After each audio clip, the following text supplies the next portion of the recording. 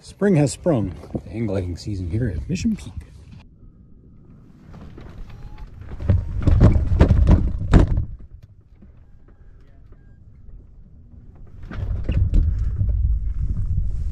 Flirt.